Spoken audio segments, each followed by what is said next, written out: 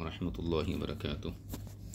जैसा कि नाजरीन को मालूम है, जामिया अनवारिया हैदराबाद बाबुलम अनवारिया एजुकेशनल सोसाइटी की जानब से तफसीरत अहमदिया के दर्स का सिलसिला जारी है।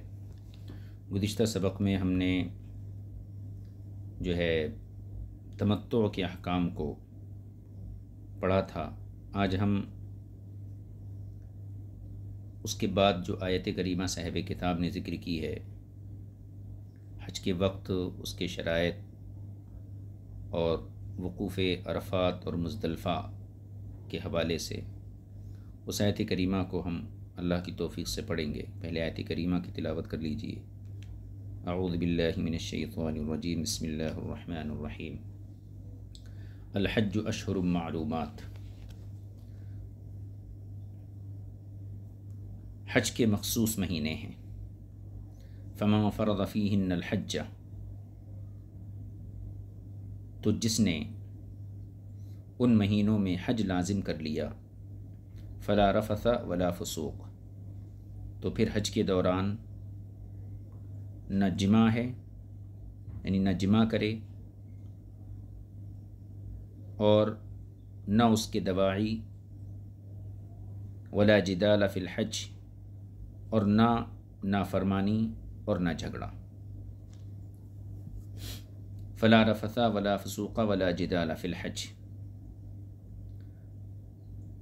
तो फिर हज के दौरान न जिमा और उसके दवाई, न नाफरमानी और ना ही झगड़ा होना चाहिए। वमा तफ़ालू मिन खैरी या अलमल्ला और जो भी तुम भलाई का काम करते हो या अलमल्ला अल्लाह उसे खूब जानता है। व तजवदू और रास्ते का खर्च ले लिया करो। बेशक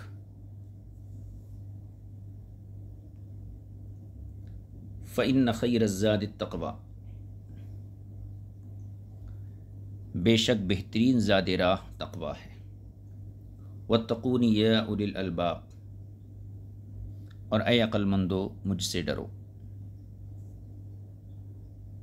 लईसा अलैकुम जुनाहन तब तगु फ़ज़लम रब्बिकुम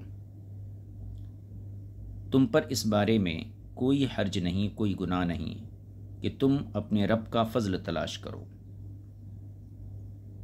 फ़ैज़ा फ़ज़ तुम मिन आरफ़ातिन फ़ज़कुरुल्लाहमशर बस जब तुम अरफात से चल पड़ो तो मशार हराम के पास अल्लाह का ज़िक्र करो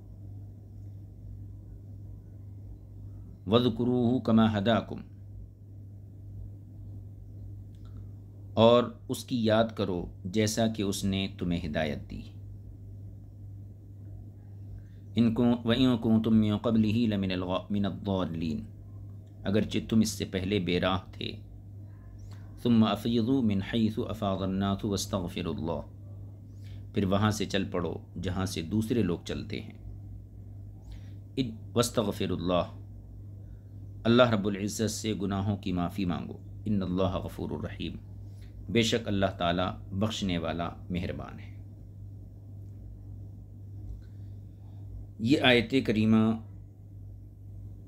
यहाँ पर साहब किताब ने तीन आयात करीमा को ज़िक्र किया है और इसके ज़िम्न में हज का वक्त, उसके शरात अरफात मुजदलफ़ा में वकूफ़ का तस्करा करेंगे। जैसा कि इन मजामी को अल्लाह रब्बुल इज़्ज़त ने इन आयतों में बयान फरमाया है। फरमाते हैं, इन आयात मुबारक में चंद बातों को बयान किया गया है। पहली चीज़, अव्वल हज का वक्त है। तुम हज के दौरान ऐसी बातों का बयान कि जिनसे बचना लाजिम है, ज़रूरी है। सोम, तीसरी बात, अरफात मुजदलफ़ा में वकूफ़ वग़ैरह का बयान, ठहरने का बयान। तो ये तीन बातें इन आयतों में ज़िक्र की गई हैं। पहली बात, अल्लाह रब्बुल इज़्ज़त ने इन अल्फाज में बयान फरमाई, यानी हज का वक्त। अलहज अशहर मालूमात। हज मखसूस महीने हैं। इसकी तफसील ये है कि कुछ तफसील यहाँ ज़िक्र कर रहे हैं कि इन अल्फाज में लफ्ज़ अलहजू से पहले उसका मजाफ महजूफ है। यानी अलहजू से पहले उसका जो मजाफ है, वो महजूफ है। मतलब ये है, यानी हज का ज़माना और हज का वक्त मखसूस और मालूम महीने हैं। तो वक्त या ज़माना इसका मजाफ होगा। यानी ज़मानहजी अब मुजाफ को महजूफ करके, मुजाफ का जो एराब था, वो मुजाफिले को दे दिया गया। हर एक उन्हें बखूबी जानता है। यानी हज का जो वक्त है, मखसूस और मालूम महीने हैं। यानी ऐसे मालूम कि हर एक उन्हें बखूबी जानता है। वो क्या है? शव्वाल, जुल्क़ादा, जुल्हिज्जा के दस दिन हम अहनाफ के नज़दीक। शव्वाल, ज़िलक़ादा, ज़िलहिज्जा। शव्वाल, ज़िलक़ादा दोनों पूरे महीने। ज़िलहिज्जा के दस दिन या दो महीने, दस दिन, ये हम अहनाफ के नज़दीक हज के महीने हैं। तो यहाँ अशहर मालूम से अहनाफ के नज़दीक दो महीने दस दिन हैं। जबकि इमाम शाफ़ी के यहाँ। तो इमाम शाफ़ी के नज़दीक इसके बरखिलाफ़ शव्वाल, ज़िलक़ादा, ये तो पूरे महीने हैं और ज़िलहिजा के नौ दिन हैं। और दसवीं रात है, यानी दसवा दिन, गोया के इमाम शाफ़ी के नज़दीक, यानी योमुल अज़हा, ये हज के दिनों में शामिल नहीं है। तो हमारे नज़दीक शव्वाल, ज़िलक़ादा ज़िलहिजा के दस दिन। इमाम शाफ़ी के नज़दीक शव्वाल, ज़िलक़ादा और ज़िलहिजा के नौ दिन और दसवीं रात। इमाम मौसूफ़ के, यानी इमाम शाफ़ी के नज़दीक योमुल अदहा हज के दिनों में शामिल नहीं है। और इमाम मालिक के नज़दीक शव्वाल जुल्क़ादा, जुल्हिज्जा का मुकम्मल महीना। ये अयाम हज हैं। कोई मुकम्मल तीन महीने अयाम हज हैं। अब ये इख्तलाफ क्यों हुआ? इमाम आज़म के नज़दीक शव्वाल, ज़िलक़ादा, ज़िलहिज्जा के दस दिन। इमाम शाफ़े के नज़दीक शव्वाल ज़िलहिज्जा, ज़ुल्क़ादा और ज़िलहिज्जा के नौ दिन और दसवीं रात और इमाम मालिक के नज़दीक मुकम्मल तीन महीने। इस इख्तलाफ की बुनियाद ये हुई कि इमाम शाफ़ी के नज़दीक वक्त जो मुजाफ़ है और महजूफ़ है। उससे मुराद अहराम का वक्त है, यानी अलहजो से पहले जो मुजाफ महजूफ़ है, जैसे ज़मारहज या वक्तुलहज तो जो मुजाफ महजूफ़ है, उससे मुराद अहराम का वक्त है, यानी हज का मतलब हज के अहराम का वक्त। और एहराम योमनहर को दुरुस्त नहीं होता। क़ुरबानी के दिन। इसलिए वो दिन, यानी अज़हा, ईद का दिन योमनहर वो उस दिन को, उस दिन से मुराद वही योम नहर का दिन। उस दिन को अयाम हज से खारिज करार देते हैं, बाहर समझते हैं। और अयाम हज में उसको शरीक नहीं मानते। और इमाम मालिक रदी अल्लाह तन के नज़दीक वक्त से मुराद ऐसा वक्त है जिनमें, जिसमें हज के अफ़ाल अमाल के अलावा दूसरे मनासिक बजा लाना मुस्तहसन ना हो। इसलिए उनके नज़दीक जुल्हिज्जा के उन दिनों में जो हज के अफ़ाल मुकम्मल होने पर बच जाते हैं, उम्र अदा करना सही नहीं है।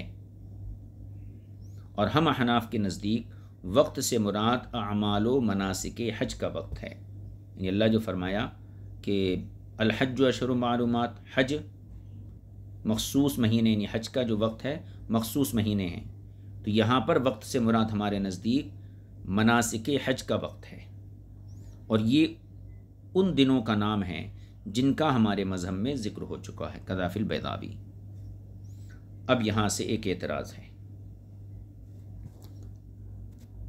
एतराज़ ये है, अगर कहा जाए कि हज के लिए दो माह, दस दिन का वक्त मुकर करना इसमें क्या फ़ायदा है? यानी अल्लाह रब्ज़त ने, जैसे कि अहनाफ कहते हैं कि दो महीने दस दिन का वक्त है। तो हज के लिए दो महीने दस दिन का वक्त मुकर करने में क्या फ़ायदा है, क्या हमत है? जबकि सूरत हाल ये है कि उसकी एक शर्त भी है, यानी एहराम बांधना। और इन दो माह से पहले भी एहराम बांधना जायज़ है। यानी हज के शरात में एहराम बांधना भी है। और ये एहराम इन दोनों महीनों से पहले भी बांधना जायज़ है। और शर्त मजकूर के अलावा हज के दो रुकन और भी हैं। यानी एहराम के अलावा वकूफ़ अरफा है। उसके लिए नौजिलहिजा का दिन मखसूस है। और दूसरा रुकन है तवाफ़ ज़्यारत, जो ईद के दिन, यानी यौम नहर के बाद भी करना जायज़ है। तो फिर हज के लिए दो महीने, दस दिन का वक्त मुकर करने की क्या हमत है? इस तरह तो समझ में आ गया होगा कि हज की एक शर्त एहराम बांधना है, वो इन दो महीने से पहले ही बाँध सकते हैं। और बाकी जो दो रुकन हैं, वकूफ़ अरफा है, वो नवी जिलजा जिलजा की नौ तारीख का दिन मखसूस है उसके लिए।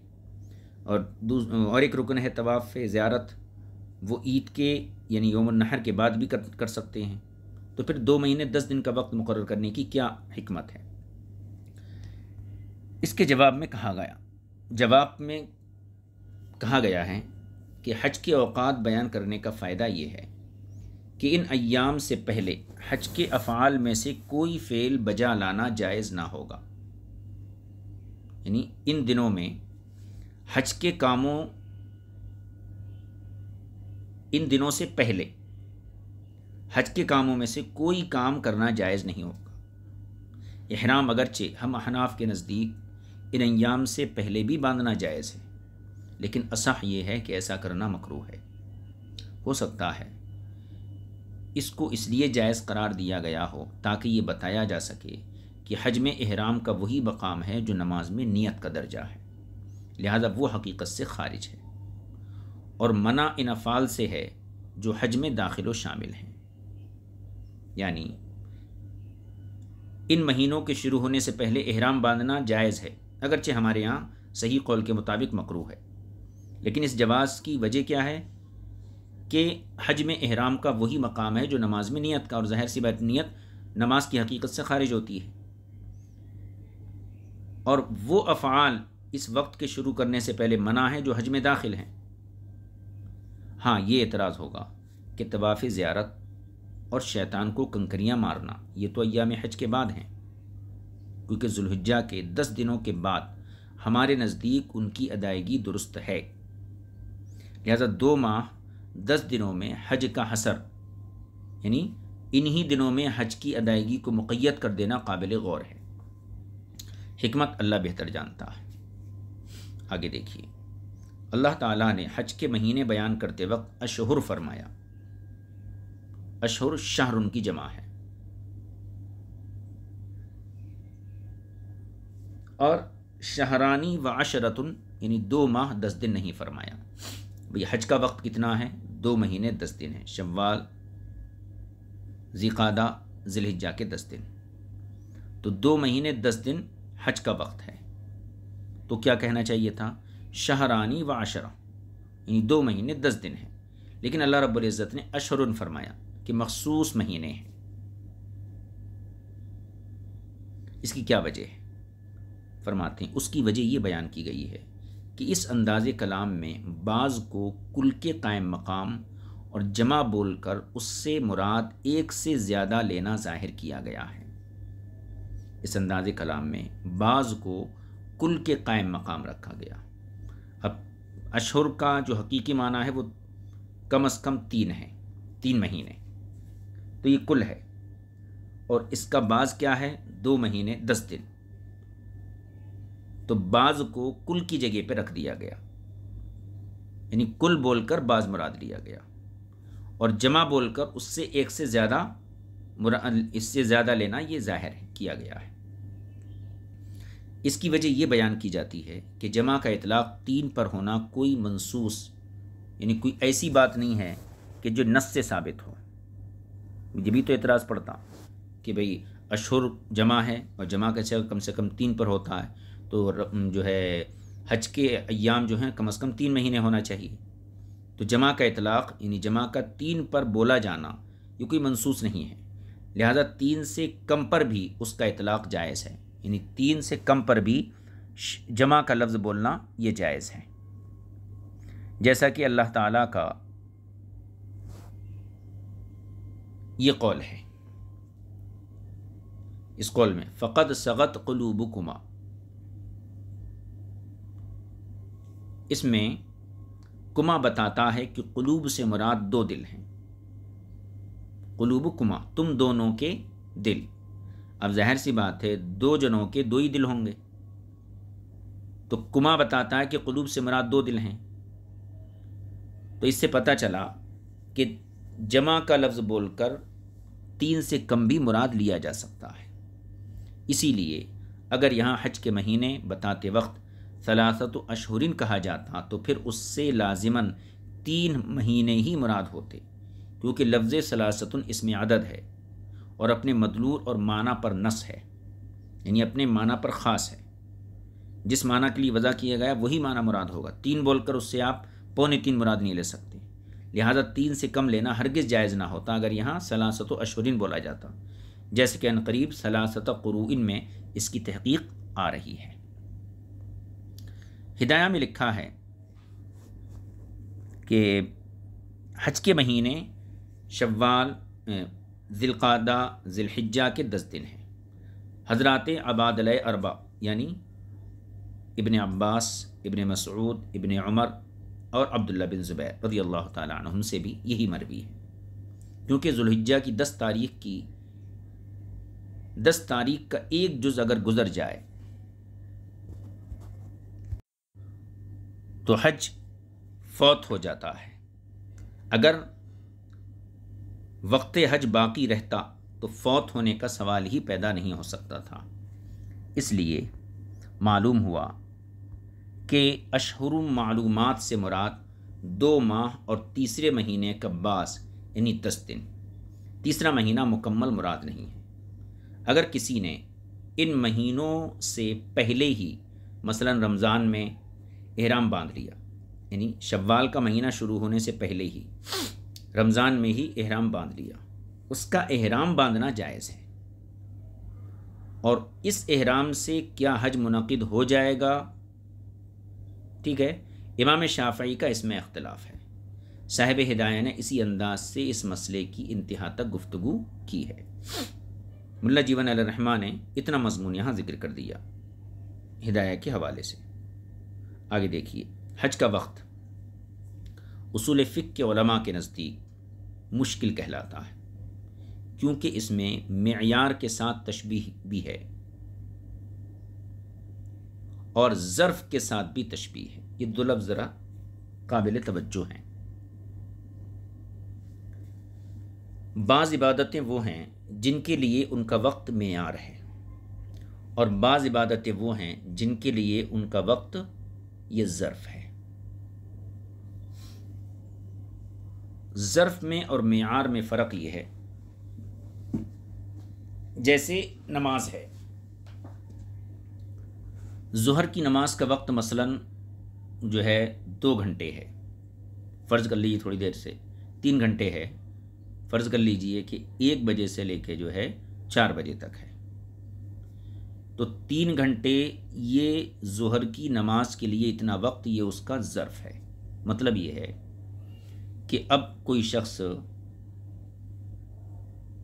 दस मिनट में जहर की नमाज़ अदा कर लेता है, उसके बावजूद वक्त बाकी बचता है। तो इस पूरे तीन घंटे में कभी भी वो नमाज़ जहर की अदा कर सकता है। यानी जहर की नमाज़ से पूरे वक्त को घेरना ज़रूरी नहीं है। जितनी देर में अदा हो जाए नमाज़ अदा हो गई, बाकी वक्त उसका बच जाता है। यह है ज़र्फ़। मैार क्या है? मैार जैसे रोज़ा है। रोज़े का वक्त सुबह सादक से लेकर गुरूब आफ्ताब तक है। तो मतलब ये है कि रोज़े की इब्तदा होगी सुबह सादक से और इंतहा गुरूब आफ्ताब तक। तो ये पूरा वक्त रोज़े में घिर जाएगा। यानी इस पूरे वक्त में कोई ऐसा लम्हा नहीं है जिसमें बंदा, बंदे को खाने पीने की रुख्सत हो। तो ये मैार है। ठीक है?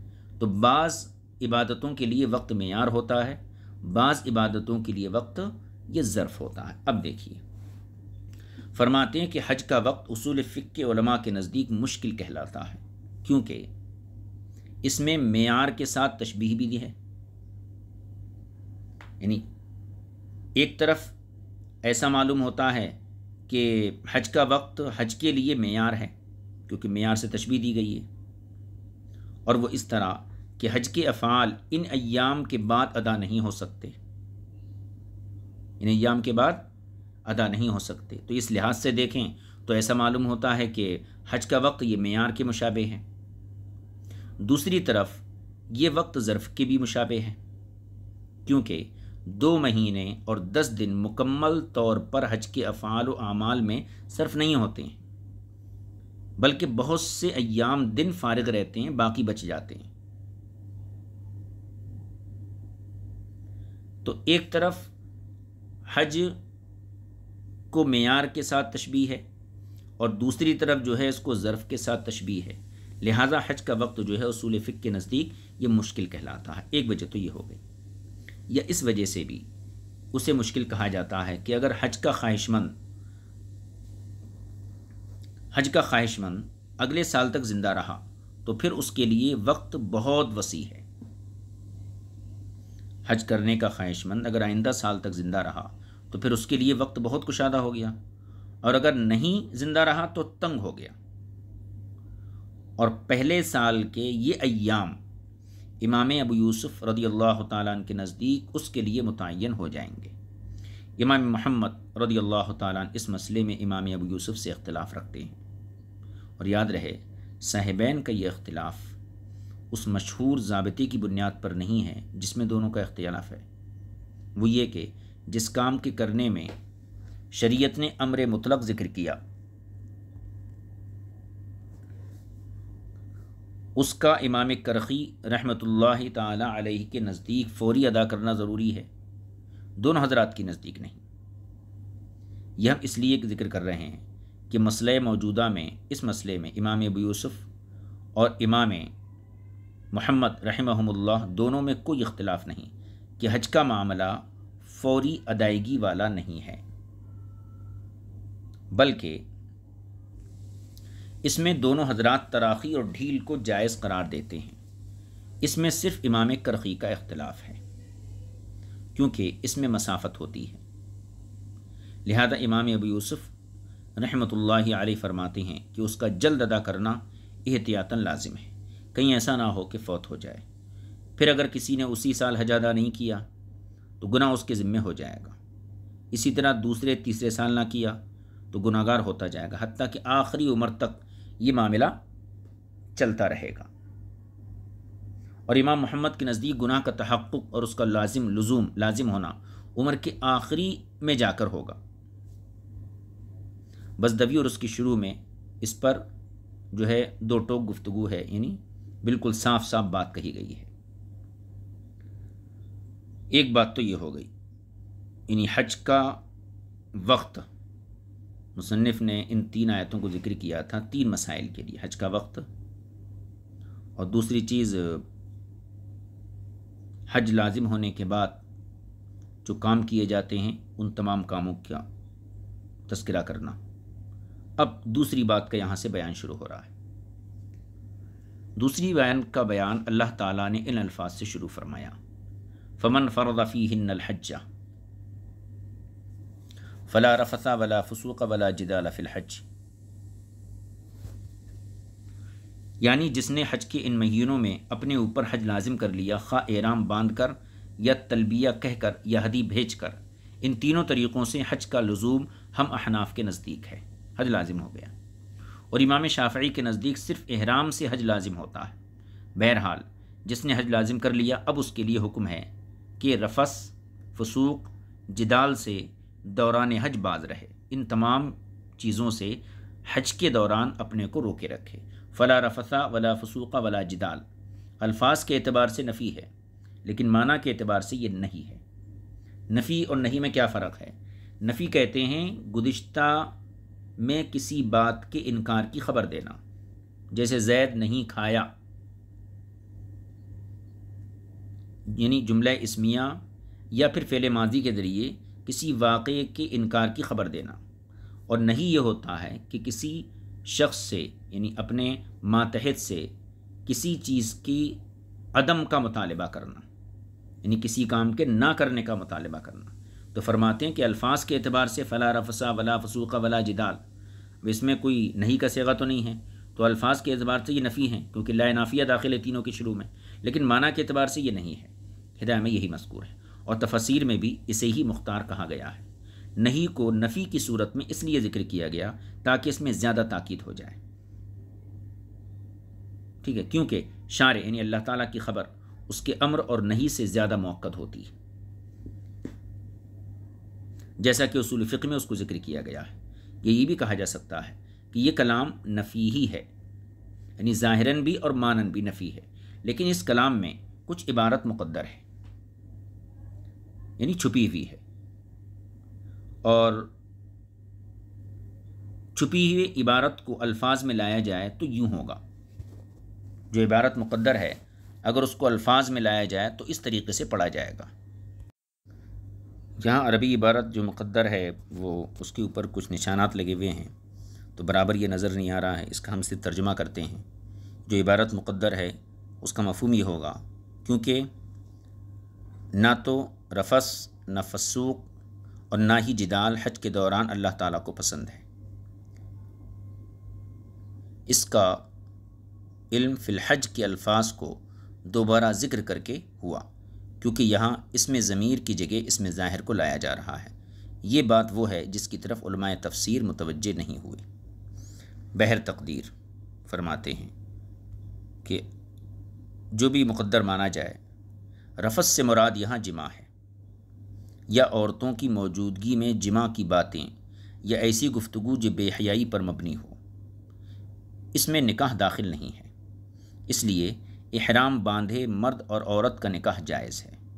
तो गोया कि रफस अपने हकीकी माना में है। जैसे निकाह का हकीकी माना, ये जिमा है।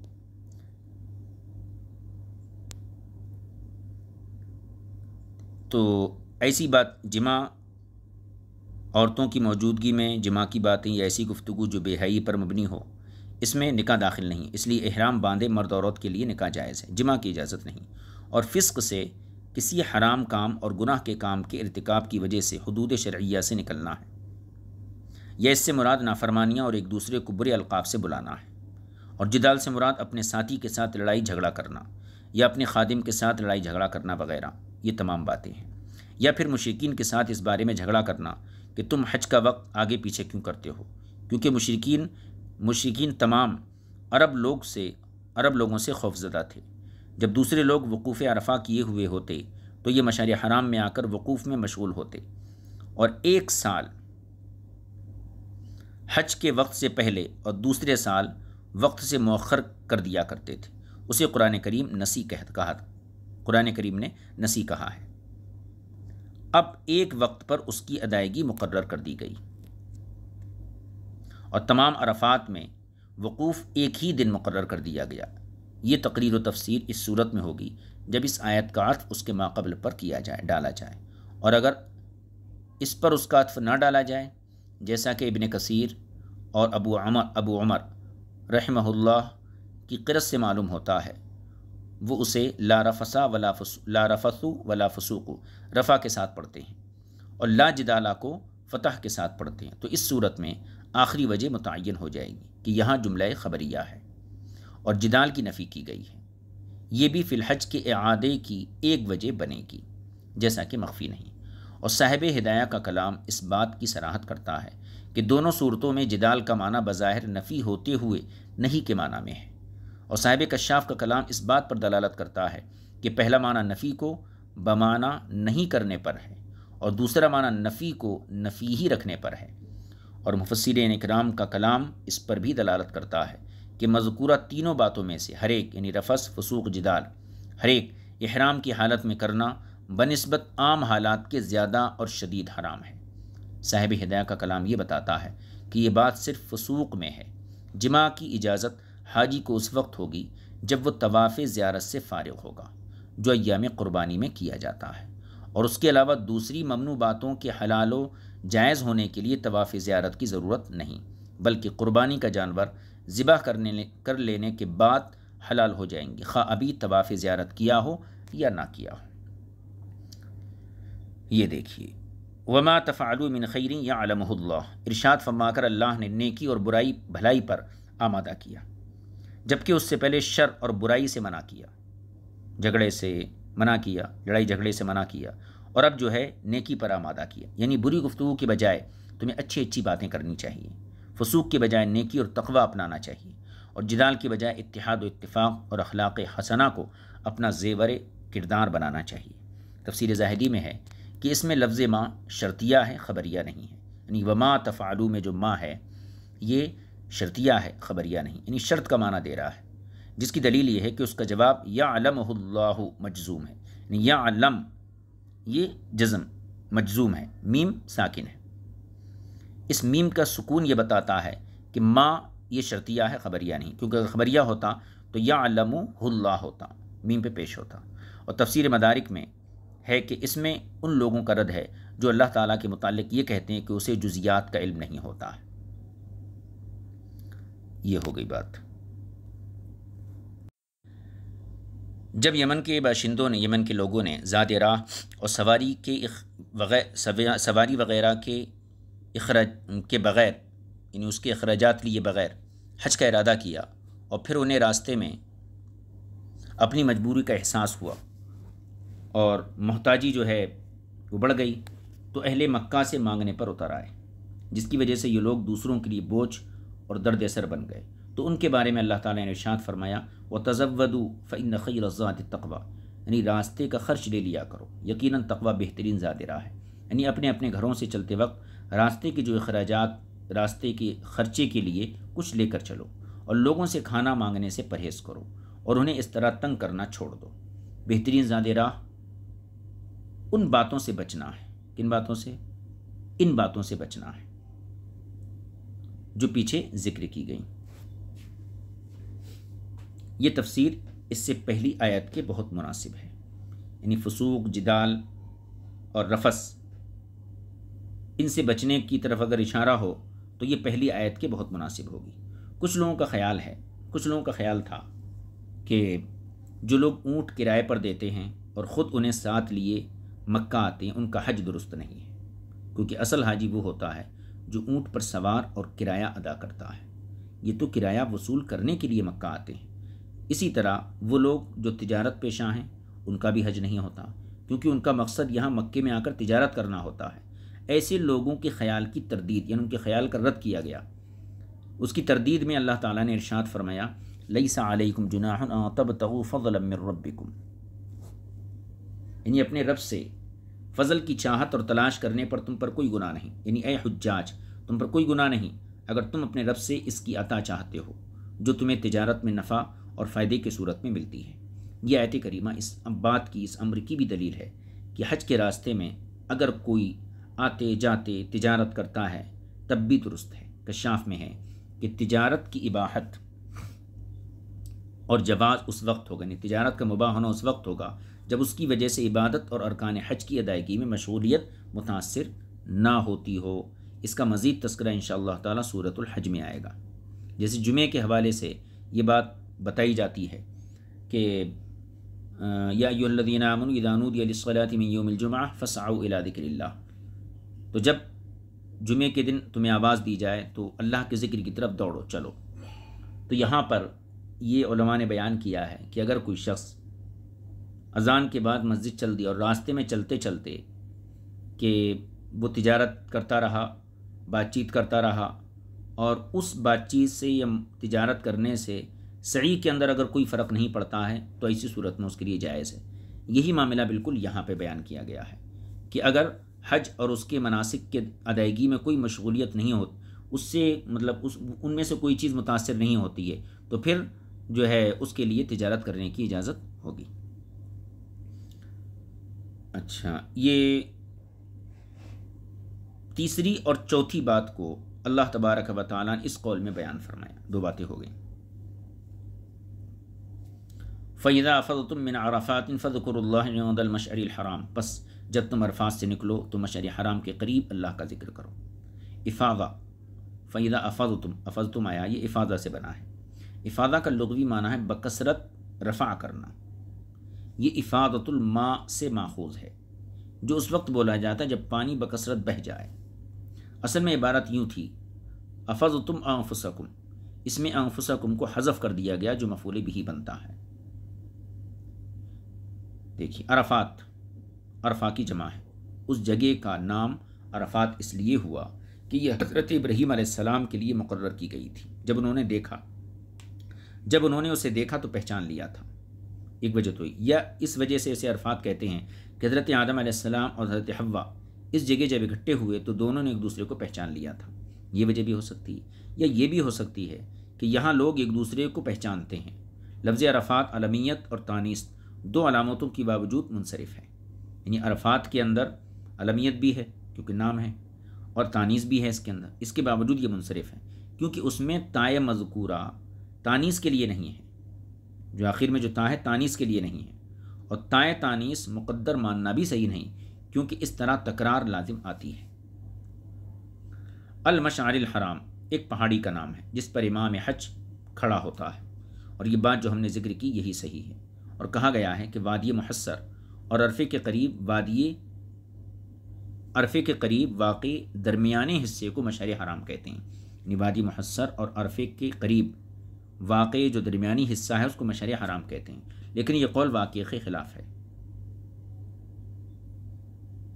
लफ्ज़ मशार का माना अलामत है। उसे इबादत की निशानी और अलामत होने की वजह से ये नाम दिया गया है। और अलहराम, अरे आगे चला गया। यहाँ पे है, देखिए।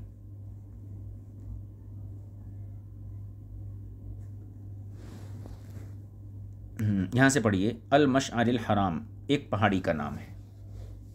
अलमशार हराम एक पहाड़ी का नाम है, जिस पर इमाम इमाम हज खड़ा होता है। और ये बात जो हमने ज़िक्र की, यही सही है। एक पहाड़ी का नाम है, ये सही है। और ये भी कहा गया है कि वादी महसर और अरफा के दरमियान, वाक़ दरमियानी हिस्से को मशर हराम कहते हैं। लेकिन ये कौल वाक़ के ख़िलाफ़ है। लफ्ज़ मशार का माना अलामत है। उसे इबादत की निशानी और अलामत होने की वजह से ये नाम दिया गया है। और अलहराम उसे इसकी हरमत, तज़ीम की वजह से कहा गया है।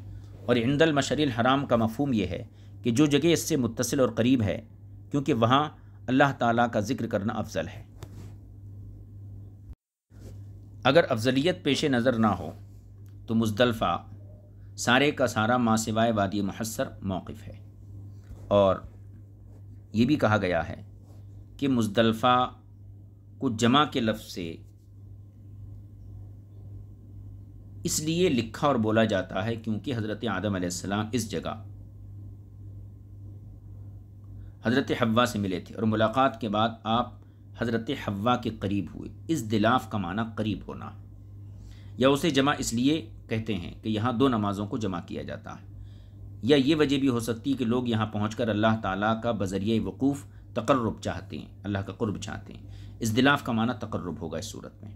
बस अल्लाह ताला ने हमें इस मकाम पर खसूस अपना ज़िक्र करने का हुक्म दिया। यानी जब अराफात से निकल आएँ और मशर हराम के करीब आ जाएँ तो अल्लाह ताला को खूब याद करें।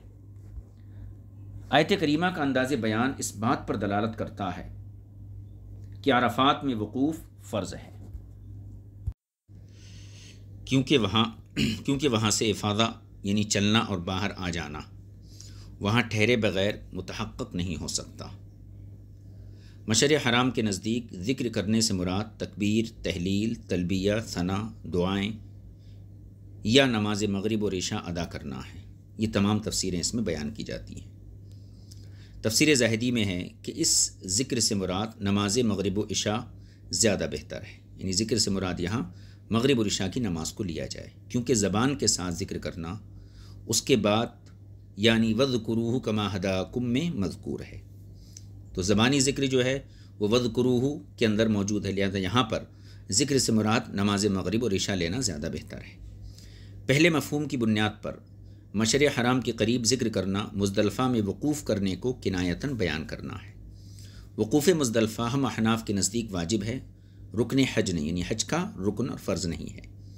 हती कि अगर किसी ने बग़ैर उज़्र और मजबूरी उसे तर्क कर दिया, छोड़ दिया वकूफ़ मुजदलफ़ा को तो उस पर दम, यानी क़ुरबानी लाजिम आएगी।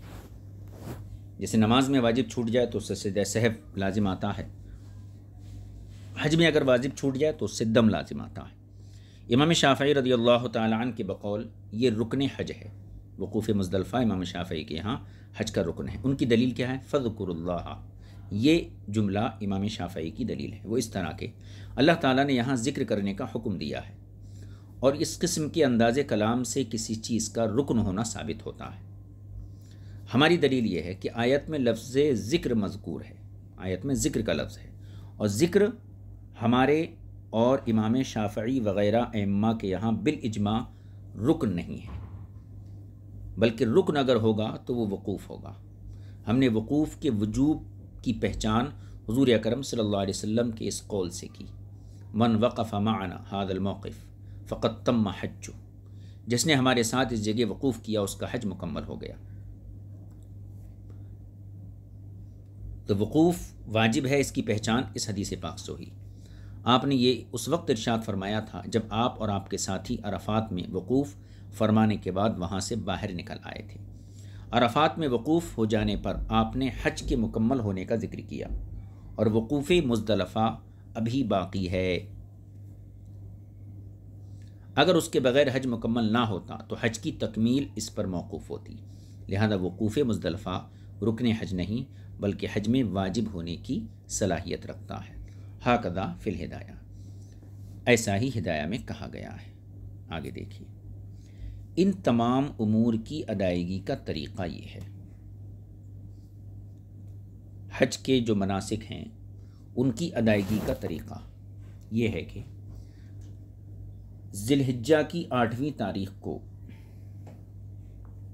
सुबह मिना की तरफ़ रवाना हों।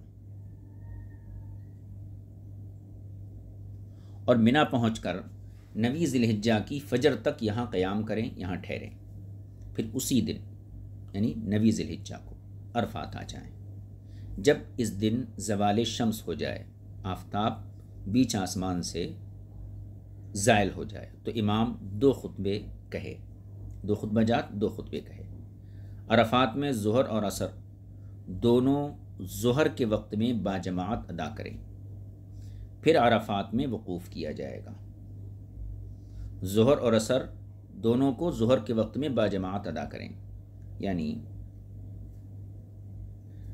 जहर के आखिरी वक्त में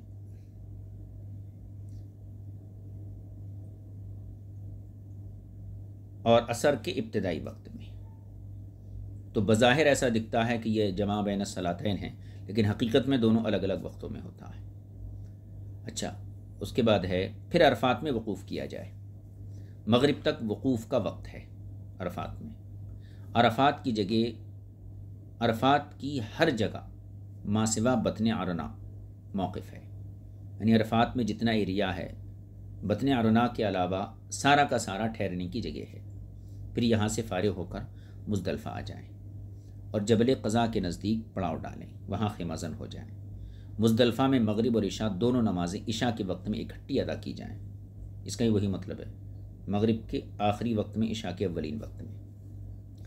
नमाज़ फ़जर सुबह सादिक होने के फ़ौर बाद अदा कर ली जाए, फिर मुजदलफ़ा में वकूफ़ किया जाए, ठहरा जाए। मुजदलफ़ा वादी महसर को छोड़कर सारा का सारा मौक़ है। जब सुबह खूब रोशन हो जाए तो दसवीं जिलहिजा को मिना में आ जाए। यहाँ आकर बतन वादी से जमरतुल अकबा पर सात कंकरियाँ मारें और कंकरियाँ मारते वक्त तकबीर कही जाए। फिर अगर चाहे तो ज़िबा करे, फिर हल्क या कसर करे। फिर क़ुरबानी के दिन तवाफ़ ज़्यारत करे। फिर मिना आ जाए और तीन दिन क़याम करे। क़ुरबानी के दूसरे दिन जवाल के बाद तीनों जमरात को फिर कंकरियाँ मारे। इब्तदा मस्जिद से मुतसिल जमरा से करे। फिर उसके बाद उसके साथ वाले जमरा पर, फिर जमरा अकबा पर सात सात कंकरियाँ मारें। कल, यानी अगले दिन, फिर इसी तरह तीनों जमरात पर कंकरियाँ मारे। फिर तीसरे दिन भी ऐसे ही करे। फिर वापस मक्का शरीफ आ जाए। मज़ीद तफसील फ़िक की किताबों में मस्कूर है। यहाँ इसी कदर काफ़ी है। ये बात हो गई। उसके बाद ये तीन चीज़ें हो गई। उसके बाद रब्बुल्ज़त ने क़ुरैश से ख़िताब फरमाया। तुम अफ़ीलू मिन हईस अफ़ादन्नास यानी अरफात से, ना कि मुजदलफा से। अरफात से तुम भी वहीं से चलो, जहाँ से दूसरे लोग चलते हैं। ये इसलिए नहीं, ये इसलिए उन्हें फरमाया गया क्योंकि क़ुरैश मुजदलफ़ा में वकूफ़ करते और उनके अलावा दूसरे तमाम लोग अरफात में वकूफ़ करते। इस वजह से क़ुरैश अपने आप को दूसरों से अरफा आला और मुमताज़ समझते थे। फिर ये मुजदलफ़ा से वापस आ जाते। लफ्ज़ सुम्मा, यानी सुम्मा फ़ीज़ू में, लफ्ज़ सुम्मा, अगरचे असले माना के अतबार से तराक़ी और मोहरत के लिए आता है। यानी सुम्मा का लफ्ज़ जो है कबल में बयान करदा मजमून से दूरी और मोहलत बयान करने के लिए आता है। लेकिन यहाँ इस तराक़ी को, लेकिन यहाँ इस लफ्ज़ को तराक़ी बयान करने के लिए नहीं लाया गया है, जो अरफात और मुजदलफ़ा में वकूफ़ के बाद इफ़ादा यानी चलने में है। और बाज़ ने यह भी कहा है कि इस मोहलत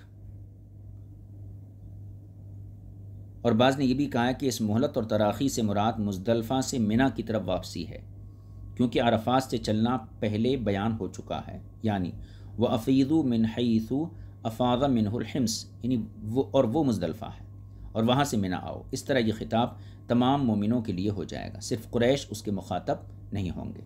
और लफ्ज़ सुम्मा का माना उस वक्त वाज और ज़ाहिर है। अफ़ादन्नासु अफ़ादन्नासु में एक किरत अन्नासी है। नासी भी आई है। इस वक्त उससे मुराद हज़रत आदम सलाम होंगे, क्योंकि अल्लाह ताला ने उन्हीं के बारे में फ़रमाया, फ़नसिया वलम नजिद लहू आज़मा। बस आदम से निशान हुआ और हमने उनसे पक्का इरादा गुनाह का नहीं पाया, यानी अरफात से चलना कोई नई बात नहीं, बल्कि कदीम तरीक़ा चला रहा है, लिहाजा तुम उसकी मुखालफत ना करो मुफसर ने इकराम ने इसी तरह ज़िक्र किया है।